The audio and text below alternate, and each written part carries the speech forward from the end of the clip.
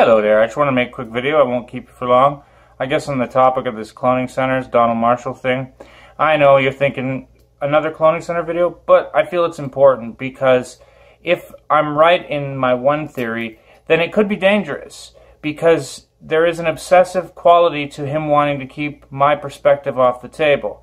Now, all this started when he picked a fight with me. I know the guy on social media. I don't know him in real life. Maybe I know him over there. I don't know.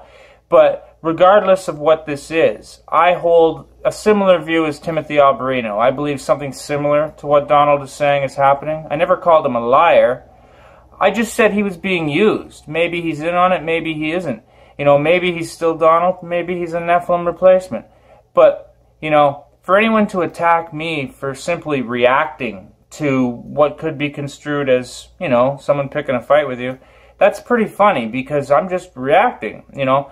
I'm not this, that, or anything. He, you know, they like to say I'm this, that, or the other thing. But the truth of the matter is, is I'm just a media analyst. I'm just, you know, making making reaction videos in a sense and giving my opinions. I, I mean, I have some expertise on the subject. I do have a massive physics science background. Epigenetics is not my thing, but psychoanalyzing people is. So I want to play a little clip here.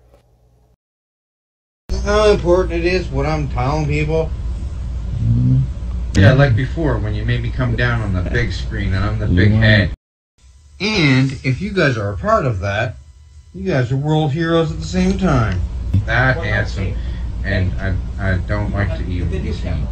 Um, and people think that I'm either dead or taken over by some kind of parasitic. You're the same old Don.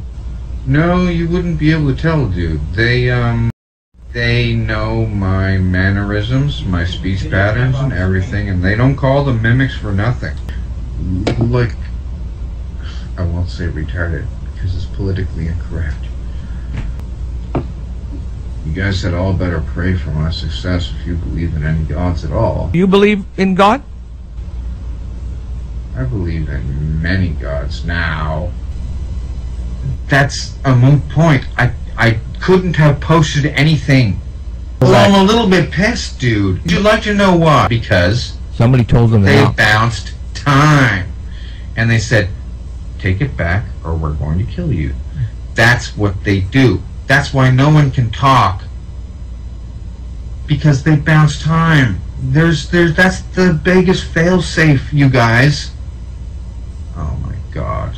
I'm trying to save the world here, you guys. Okay, what the hell was that?